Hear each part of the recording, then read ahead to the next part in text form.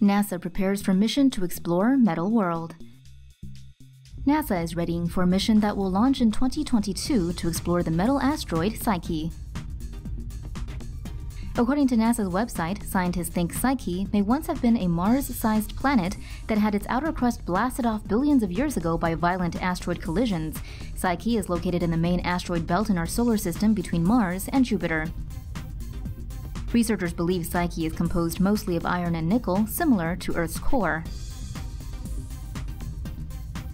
According to NASA, Psyche will carry scientific instruments, including a magnetometer to measure the asteroid's magnetic field and a spectrometer to detect what exactly the ancient asteroid is made out of. The multispectral imager will take high resolution images of Psyche to distinguish between metals and silicates. The probe will be launched in August 2022 and is expected to reach the asteroid by January 31, 2026. Through this mission, scientists hope to gain a better understanding of how our solar system was formed.